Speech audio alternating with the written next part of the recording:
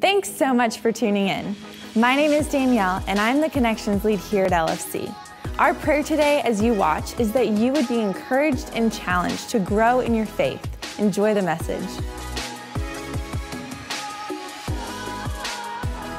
Um, our theme this morning is about embracing the Holy Spirit. How many of you are huggers? Any huggers out there?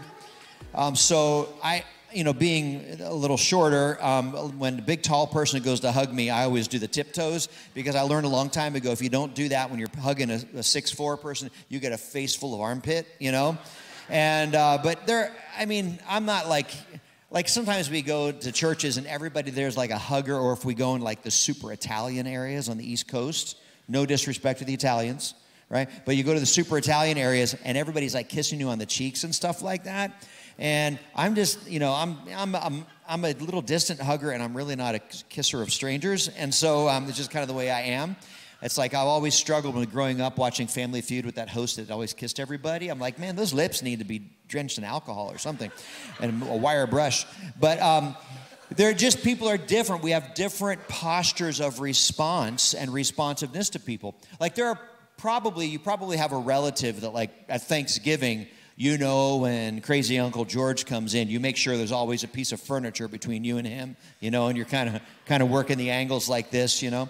Uh, but then there's probably other relatives where your posture of embrace and acceptance is just kind of wide open.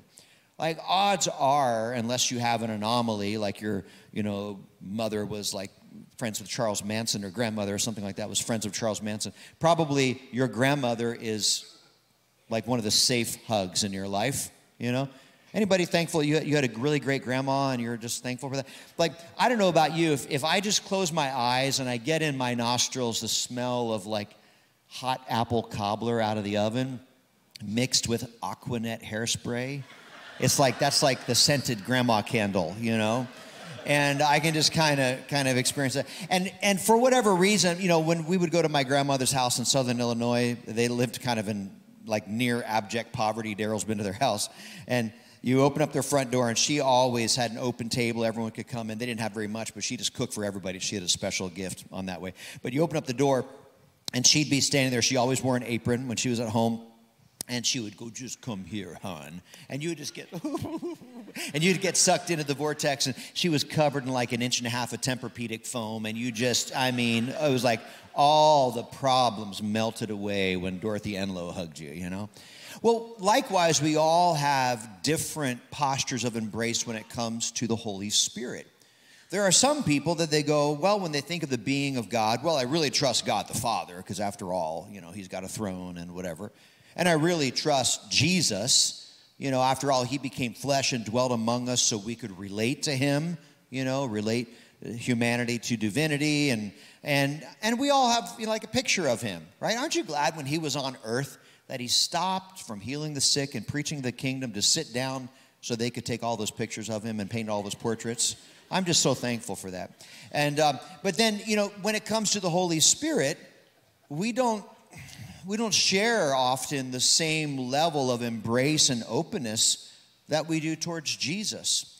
Well, it's significant that uh, the night that Jesus was arrested and betrayed in the Last Supper, uh, Last Supper discourse, somewhere between the prime rib and the cheesecake, although that wouldn't be kosher, somewhere between the prime rib and the strawberry pie, um, Jesus sat down and downloaded to the disciples the last of his recorded lengthy teaching discourses.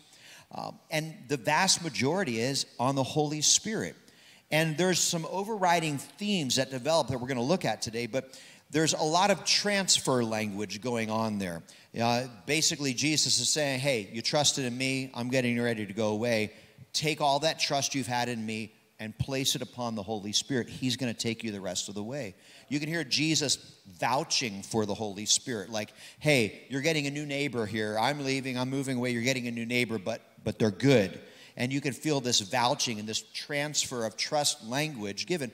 And in that Last Supper discourse, it spans John 14, 15, and 16. And the teaching on the Holy Spirit is the lion's share of chapter 14, a little bit at the end of 15, and then the lion's share of chapter 16 with such a vast amount of scripture, I don't want to take the time today to read the entire portion, but I do want to read the highlights so that you can, together with me, kind of explore some of these major themes. So, in honor of the reading of God's word, would you stand with me to your feet? And we're going to read the word of God together off the screen. Let it get in your eye sockets and in your coconut. Let it backfeed in your ears. And let's just let the word of God absorb uh, into our lives. And how many would say the word of God has changed your life, right? So, let's look today and let's read together out loud. You ready? If you love me, obey my commandments, and I will ask the Father, and he will give you another advocate who will never leave you. He is the Holy Spirit who leads into all truth. The world cannot receive him because it isn't looking for him and doesn't recognize him, but you know him because he lives with you now and later will be in you. I am telling you these things now while I am still with you. But when the Father sends the advocate as my representative, that is the Holy Spirit, he will teach you everything and will remind you of everything I have told you.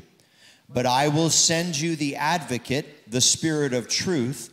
He will come to you from the Father and will testify all about me. But in fact, it is best for you that I go away, because if I don't, the advocate won't come. If I do go away, then I will send him to you. And when he comes, he will convict the world of its sin and of God's righteousness and of the coming judgment. There is so much more I want to tell you, but you can't bear it now. When the Spirit of truth comes, he will guide you into all truth. He will not speak on his own, but will tell you what he has heard. He will tell you about the future. He will bring me glory by telling you whatever he receives from me. All that belongs to the Father is mine. This is why I said, The Spirit will tell you whatever he receives from me. Let's pray together.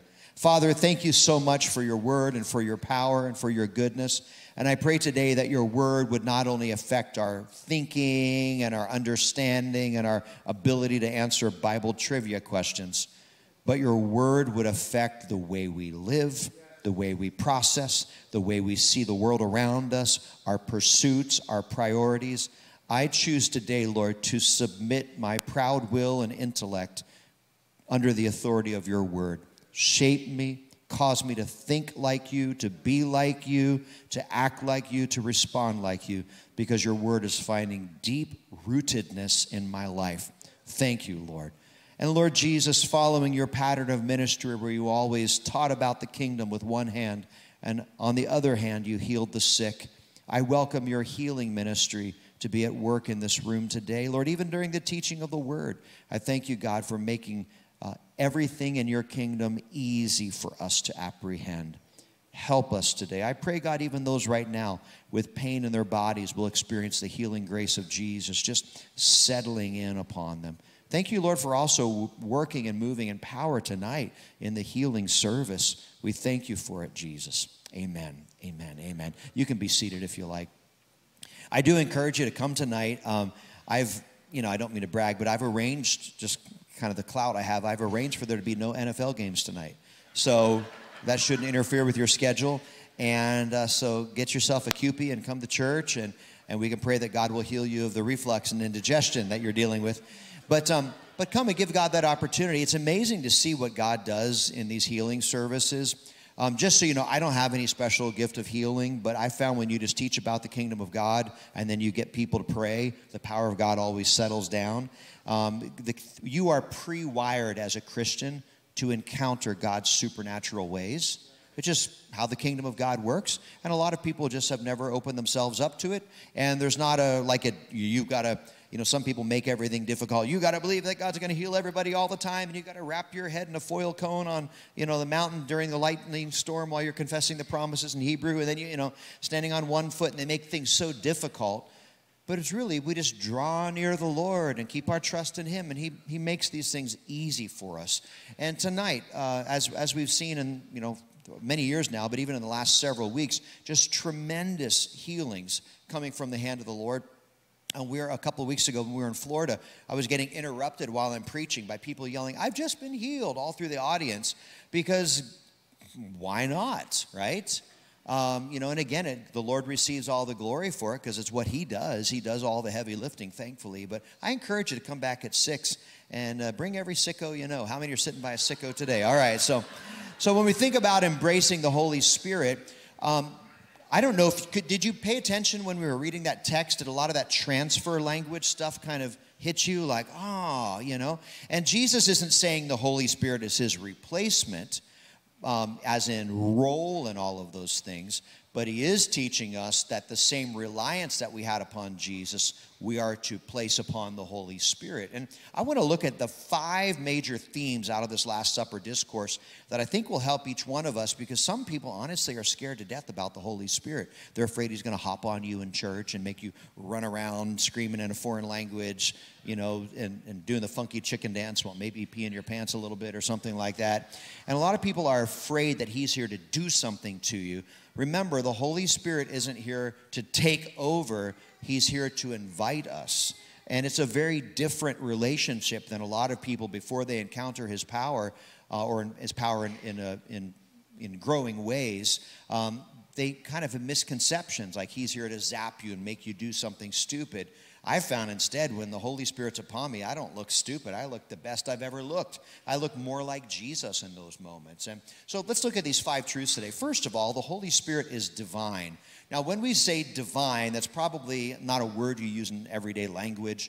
Um, there's even like food. That's what's that stuff that's crunchy white stuff that's like dried barbasol shaving cream that people make a Christmas divinity, you know? That's not the Holy Spirit, whatever. And, and if you people go, oh, my divinity's, have you ever had that stuff? You know what I'm talking about? And people are like, oh, mine's better. It just tastes like shaving cream. I'm just going to level with you. I don't find any, I don't experience God when I eat that. But um, when we say divine, we mean the Holy Spirit is God. Did you know the Holy Spirit is called God no less than nine times in the entire Bible? But labels for him are there. Now, as Christians, we know we serve the one eternal creator God, the God of Abraham and Isaac and Jacob. Um, the Old Testament name for him would be Yahweh. It gets mistranslated before they understood uh, Hebrew vowel usage as Jehovah. But it's call him Jehovah. He's been called worse. That's fine. But Yahweh would be the most accurate pronunciation for his covenant name. Um, um, and so we know we worship the one eternal creator God. How many worship the one creator God of heaven and earth, right? The God of the Bible. But then the second fact there is that even though he is one being, he has forever revealed himself in the three distinct persons within the one being of God God the Father, or God the Son, and Jesus, and God the Holy Spirit. And so a lot of people struggle with this because they, you know, they're trying to trying to fix all, all this information in their brain and trying to make nice little uh, categories and people come up with all these metaphors that never work because it's just a surpassing mystery but you'll notice here in the Gospel of John and in the passages, passages we read that it's replete with Godhead, Trinity language. In fact, indeed, the book of John is Trinity, Godhead central in the Bible. I mean, it's impossible to get out of reading the, the gospel from the beloved disciple John without understanding uh, some of the, the interaction of God. You see it here. I, Jesus, will ask the Father, and he will give you another advocate. Speaking of the Spirit, um, the Father sends the advocate, the Spirit, as my, Jesus' representative. But let's just hone in on, on that top scripture on the words another advocate for a moment. So you do not need to understand Koine Greek, which the New Testament was written in. Remember, the Bible is not an English book, it's a foreign language book that's been translated into English. Um, and we have lots of great English translations. Very, there's really great translations in English, really meaningful. But sometimes you kind of miss some of the nuances. So, because Koine Greek is very, very specific. So you have um, another advocate. So in Greek, basically, you have two words for other or another, and they have a different nuance. You have heteros, which means another of an entirely different kind. That word, like another heteros, would be like, um, and they began to speak with another tongue that would be another of a different kind language than they'd ever learned before. It's totally different than some. But then you have this one. This another is allos. It's another of an identical kind. Here is a brown church chair. Here is allos, and another of the same kind, another brown chair. They're identical, another one of the same kind. And then you have the word advocate. Um, like I was raised in church, and, and, and mostly King James Version was used, which is a, a wonderful version. Um, and the word here is another comforter. You ever heard that one before? Some texts say counselor, which is a pretty good translation. Some texts say helper, which is a little squishy. And then some translations say friend, which is, is just not friend, it's not the word. Um, and it's kind of ultimately squishy. But when you think of comforter, what do you think of right off the bat? You think of that big warm blanket, and that's kind of not the way we use that word now. I believe presently in English, this translation, advocate, would be the clearest uh, best single word translation with modern word usage that, that's probably there in any version. But the word there for advocate is parakletos or paraclete. And the idea there is the prefix para, like parallel lines, alongside. And then the root word is a verb, uh, but it's used here in a noun form, but it's kaleo, to, to call or summon for help and assistance. You know, it's the red phone, it's, you know, in case of emergency, break glass, it's 911, but it's also used in a mentor relationship. I don't know what to do, so you call the person that you would trust their advice in that specific area. Jesus says, I am going to send you, I'm going to give you another one just like me, Parakletos. Like I've stood with you, I've walked with you for these three years, I've taught you about the kingdom of God, I've shown you healing the sick and preaching the kingdom and raising the dead and all that. I've shown you the principles of the kingdom, taught you about. I've been the, your alongside one. I'm getting ready to go, and I'm going to send you another one just like me that you can call for help. And then if you look at this next one, there are 16 different labels for the Holy Spirit that reveal his deity, his divinity in the Bible. 16 different titles for the Spirit, total major ones in the scripture, and they're kind of in chronological order. Just the first time that moniker is used, you can see them, uh, eight of them here. A couple of them um, notable. For, of course, the first one, Genesis 1 2, second verse of the Bible, the spirit of, or proceeding, or coming from God. And then if you look at, um, I like the bottom one too, Acts 16, 7, the Spirit of Jesus. He's even identified more specifically. And then go to the next one, please. You'll notice uh, the, the final eight here. Um, and so we've got, I love uh, the one and only Spirit, uh, 1 Corinthians 12, um, His Spirit, Ephesians 3. Um, but look at the bottom one there, the sevenfold Spirit. People get all wonky and wacky. Like, honestly, you know, from an exegetical basis of studying scripture, like if someone ever goes crazy into like numerology on stuff like that, let that be like a whoa, they're going off the deep end on this. Um, this is not like the Holy Spirit has seven faces or seven facets. Um, you can't read into that with conjecture. It is simply to say he is entire and complete, lacking nothing. He is not only holy, H O L Y, but he is also whole, W H O L E, complete, entire, lacking nothing. And, and very, very significant that both you know, the Bible begins in Genesis 1 2 with the Holy Spirit hovering over the waters, and the Bible ends in the last three verses of Revelation with the Spirit in unison with the bride of Christ saying, Come, Lord Jesus. I mean, his work is replete there. The Holy Spirit is God's personal spirit. And then, secondly, not only is the Holy Spirit invi- divine, the Holy Spirit is trustworthy. This is where a lot of that transfer language comes into play. So, Jesus is basically vouching for the Holy Spirit. If you trust me, trust the Holy Spirit. He's going to take you the rest of the way. Listen to some of this language that he uses here. He, the Spirit, will teach you what? Everything, right? And will remind you of everything I, Jesus, has told you. Then he goes on to say, I'm going to send you the advocate, the spirit of what? Truth. John earlier records Jesus said, I am the way, the truth, and the life. So you see the continuing ministry of the Spirit. And then, and he will come to you from the Father and will testify all about whom? All about Jesus. The Holy Spirit is entirely trustworthy. Sometimes people go, Well, I don't know. I've heard, I saw on YouTube, somebody said it was a move of the Holy Spirit and they were biting the heads off of chickens and you know running around in their underwear or whatever it is and i mean i'm being facetious hopefully but a lot of people take the craziest human behavior that's blamed on the holy spirit and just say oh that must be the holy spirit then we don't take the world around us to judge what is God. Instead, we take the Bible to judge what is the Lord and what belongs to Him. And there are a lot of people that have very uneasy fears about the Holy Spirit that are not rested in the Scripture. They're rested on their experience or on what someone else has said. How many know, even if we trust this person to be some great Bible teacher or great theologian, if what they're teaching in a certain area doesn't line up with the Word of God, we go, that's wrong. And the Word of God is always right. The Holy Spirit is trustworthy. Jesus is saying, if you trust me, take that trust and place it on the Holy Spirit because He is entirely trustworthy. He's not saying don't trust Jesus anymore and take the, he's saying take the same level of trust you've had for Jesus and let that same level of trust be upon the Holy Spirit. Number three, the Holy Spirit is not only trustworthy, but he's recognizable. And I love this one. Um, a, lot of people, because again, you, we struggle and, you know, we can get a picture of Jesus and we feel like we can relate to him. We've all had a father, good, bad, present, absent, you know, we, we understand fatherhood, but we just struggle in relating to the Holy Spirit. He made that one time physical appearance like a dove. Thankfully, the Holy Spirit is not a dove, but, you know, we, we have that association with him and and then other than that he, you know we don't know what to do with him but you can recognize him because from the moment you were saved, the Holy Spirit came to live inside of you. Oodles of scripture on this. Romans 8 9 is a key text there, but um, Corinthian temple text, many others, but it worked its way into most of, of Paul's 13 letters that the Holy Spirit lives in you from when you were saved.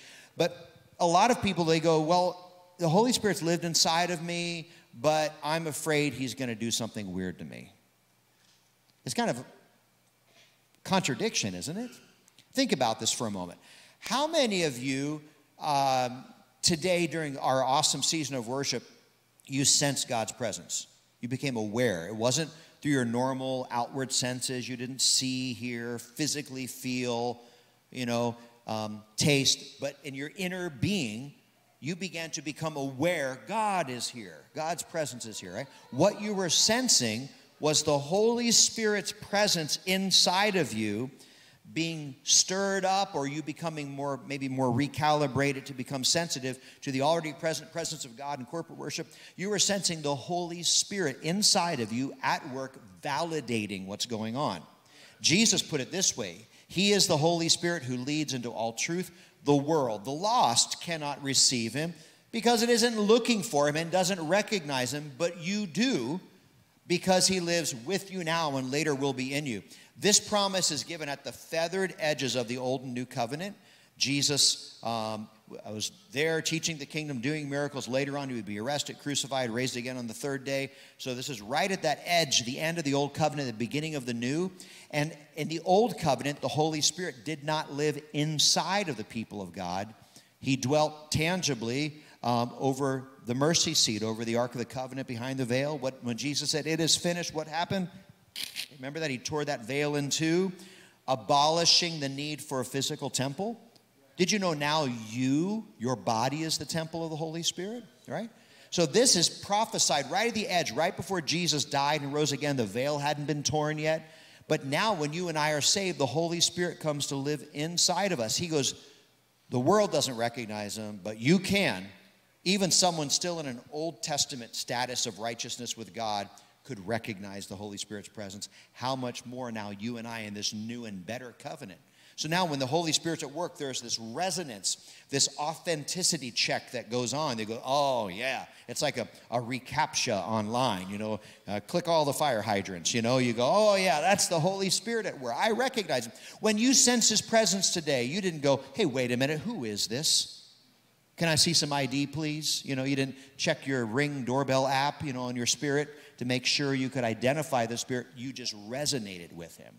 And that's really important. God has given you a detection system, a recognition system built in, hardwired in from the Holy Spirit. Not only is he recognizable, number four, he is revelatory, he reveals. And some people are scared of this word because they just read into it, oh, he's going to give you some revelation outside of the Bible. The Holy Spirit doesn't do that. the Holy Spirit, His revelation ministry helps accentuate something from the Bible or bring it to our awareness, as the text previously says. Jesus says, There's so much more I want to tell you, but you can't bear it now. You're not ready for it, perhaps. But when the Spirit of truth comes, He will guide you into all truth. He's not going to guide you into error. He will not speak on His own, but will tell you what He has heard. We'll get to that in a minute. He will tell you about the future. Every verb about the Spirit's ministry in this Last Supper discourse is revelatory teach, lead, guide, direct, reveal, make known. It's what He does. Even before you're saved, He was the one, John 16, 8, we read it earlier. He reveals to you that you have sinned. How many of you have sinned? Every Michigan fan needs to raise their hand, all right? Okay, that you have sinned, especially Pastor Christian, you have sinned that God is righteous. How many believe God is entirely righteous? These are not facts that come about by doing a trigonometry problem, they come about by revelation of the Holy Spirit in your life. Before you were saved, you were receiving revelation from the Spirit. Then, when you're saved, He comes to live inside of you. He makes known the presence of Jesus. He leads and guides and affirms that you belong to God. And after all, the Bible and the Holy Spirit are not in conflict. Peter says the Holy Spirit wrote the Bible, 2 Peter 1:21, as he moved upon holy men of old.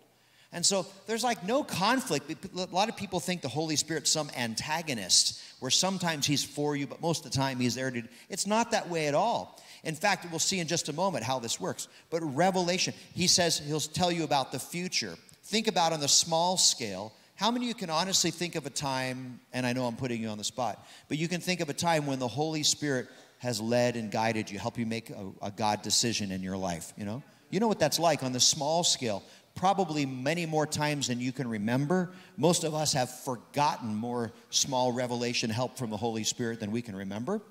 But on the macro scale and the big scale, probably none of you have been to heaven.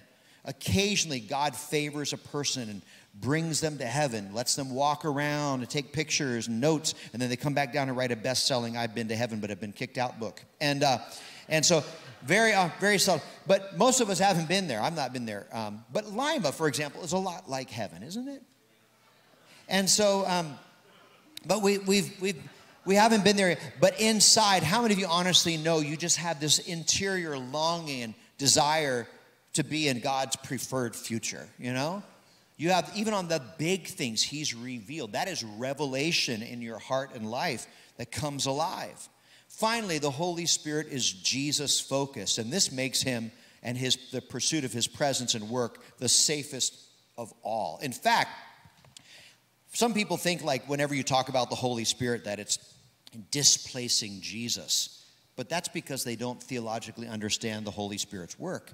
The Holy Spirit is like a big red blinking neon arrow, always taking you deeper into the things of Jesus pointing you to Jesus in a greater way. Jesus put it this way He, the Spirit, will bring me, Jesus, glory by telling you whatever He receives from me. Now go back one slide, please.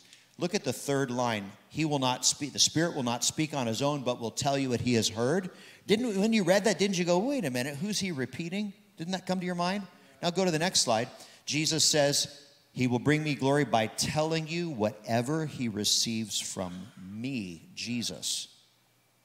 Holy Spirit does not speak on his own initiative, he speaks only what Jesus tells him to speak. Now, think about this for a moment. How many of you have ever felt um, like you want, you've heard Jesus speak to you in some way? Guide, lead, help? You heard his voice through the ministry of the Spirit. Anytime you've ever heard the Holy Spirit's guidance, lead, help, direction in your life, you've actually been hearing not what he came up with out of his own initiative, the scripture says, but instead the things Jesus said. Hey, tell it. And the Holy Spirit communicates that to you now because he lives inside of you. Uh, whereas Paul said, his spirit, capital S, joins with our spirit, lowercase s. We experience that communication connection, that familial connection that takes place um, to affirm that we belong to God, Romans 8 says. We experience that. The Holy Spirit is Jesus focused. He will think about this for a moment. And again, this is probably an oversimplification. But if you look at this, um, my favorite verse in the Bible, John uh, 16, 15, um, says, Everything the Father has is mine. That is why I said the Spirit will take from what is mine and will make it known to you. And in that verse, it's interesting because you kind of can see that. Jesus, you see, you know, and again, this is inadequate theologically, but if you think of the Father, the Son, the Holy Spirit, and then you and I in the end, Jesus says everything the Father has is mine, so the Father hands Jesus something.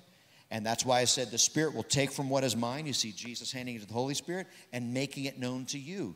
You see, the Holy Spirit is the communication system. A lot of people, they want to experience all that God has, but they want to remove the Holy Spirit out of the link. And it's not the way it works at all. You cannot fulfill the will of God without being open to the Holy Spirit in your life. There's no caution, there's no fear. Nowhere in the Bible does Jesus go, well, you know, tolerate the Holy Spirit, but he's basically a prankster, you know. He doesn't say that, oh, hey, look out, he might get you to sign up for multi level marketing essential oils or whatever. He doesn't do that. He's, he's not there, he's not trying to mitigate his friends list for his own personal benefit, you know. He's only there to take the things that are Christ and make it known to you. And sometimes this revelation happens in ways in our lives that really challenges us because we don't understand everything. And but he does. And very often, because the way the kingdom of God works with faith and trust in the Lord, um, whenever I say faith and trust, I always think and pixie dust, but that's not in the Bible. But um, but because the kingdom of God works in that faith trust uh, uh, economy, we don't understand everything. It's intentionally designed to be that way, that we would just trust in Him. And sometimes His revealing ways really lead us out of our comfort zone. Now, that's not to say if something is weird and wacky, it is therefore, or out of your comfort zone, it's there for the Holy Spirit. But sometimes His leading really tries us in that way. Like the beginning of this last year, uh, our first first services in early January were in the Cherokee Reservation outside in the eastern southeastern Oklahoma near Muskogee, and um, and at the end of the service, we did a healing service like we'll do tonight at the end of that conference. And a bunch of healings and stuff. And at the end, there's about 16 people that came up to testify with, I came in this way and now it's this way. I once was blind and now I see there's actually two blind people that were healed. So great stuff going on. So I'm going down the row with a microphone going, What happened to you? You know, as they're sharing their testimony. And from the very first person, I began to wrestle with the Holy Spirit prompting me. If you're familiar with some of those gifts of the Holy Spirit, Pastor Daryl mentioned earlier, 1 Corinthians 12, 8 through 11, it would probably be like a little word of knowledge where he just gives you a little, a little data, usually a noun or something, and, and you kind of pray about it, and he helps you to know what you're to do about it. And that's what I began to read. One word, and it didn't make any sense. I had no context, extraordinarily vague, like abnormally vague. And as I'm going down the line interviewing people, I'm trying to listen to their story and stay connected, but I'm also praying and I'm like, Lord, because sometimes if you pray, you can get some clarity. I'm like, Lord, I'm drawing near to you. What do you have anything else? And I was getting desperate as I was running out of people to interview because I knew then at the end, the pastor was going to come forward and dismiss everyone. And I could feel the window of opportunity to obey the Lord closing. But in my inner being, I just wanted to understand more, right? And I'm like, oh, Jesus, can I have more Pat? Can I buy a vowel? You know, I'm just looking for any kind of a clue. And when the last testimony happened, it was over with, people were rejoicing together. I saw the pastor stand up from over about where you're sitting and walk towards me. And I knew I had like 12 seconds to obey. So I go, hey, while pastor is coming, how many of you would cut me some slack to be wrong? I'm trying to, you know, stretch out the, the safety net around it, you know. And, uh, you know, I, I, don't know, I've been wrestling with this. It doesn't make any sense to me, but I just feel like the Lord wants me to say this one word out loud in the microphone. I don't have any application for it. Here it is yellow. And that was their response nervous laughter and silence. The pastor immediately was there, took the mic, and goes, Well, whatever, we'll just leave that one with the Lord. All right, God bless you. See you next week. He hits me in the arm. He goes, Yellow. I know what that's like to try to wrestle with something God's trying to get you to say and do, and you don't have any, you know, I get it, but that one was weird. And I go, I'm sorry, Pastor. You get any problems, just send them to me. You know, I'll, I'll own it. So we're talking to people, and as the crowd is clearing out, we thought the sanctuary was empty. We hit the back doors together to go in the lobby where there's still a few people. And all of a sudden, a head popped up from the seating section. They had three seating sections in the big middle area. And a lady goes, Hey, can I talk to you guys? And by that point, we had already kind of taken the first step over the the threshold. So she met us in the lobby. She said, I'm sorry, I was picking up our mess in this church. And she said, Well, first of all, I want to apologize that my daughter was so disruptive tonight. She was inconsolable, was her word. And I didn't notice. I said, honestly, I didn't notice anything. And she goes, Well, I'm glad. But, well, and then she kind of began to choke up. She's really, really has severe autism. And she said, in fact, she's, um, she's verbal and vocal. She makes sounds, vocalizes, but she's non language. And tonight, for whatever reason, she was just fit to be tied. We couldn't console her. We brought her here to receive prayer. And about halfway through the teaching time, my husband looked at me and said, This is not fair to our little Micaiah. Uh, she's throwing stuff everywhere. She said, That's what I was picking up underneath all the theater seats, picking up all the stuff. And she said, She just was just inconsolable. And so he leaned over to me and said, Honey, we know there's no distance in prayer. I'm going to go home right now, take her home with me, and I'll turn on this live stream and then you and your mom who's sitting there beside you, you agree in prayer. We can get on the phone if you want and pray at that prayer time. But just let Micaiah be comfortable. There's no sense in, in making her uncomfortable like this. No distance in prayer. We'll believe God. She said, Yeah, I know you're right. But she said, as, as soon as he left, I began to sulk a little bit. And she said, Then when we had the healing prayer time, my mom and I, we prayed and agreed in prayer for her.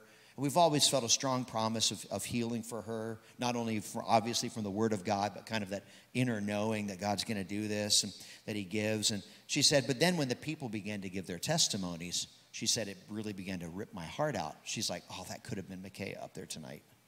Oh, that one, you know. And she said, I began to really sulk, and her word was, I began to get acidic towards God. How many of you know He's already knows what you're thinking anyway, you know?